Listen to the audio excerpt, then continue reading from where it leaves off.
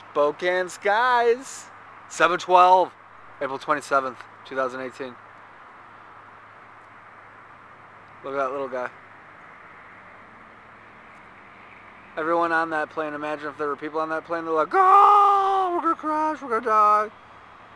When do planes fly at that angle? Oh well. A little bit of haze back there. Ooh yeah, moon baby. Moon. And it looks like back over there, looks like there might be some actual real cloud back there peeking through.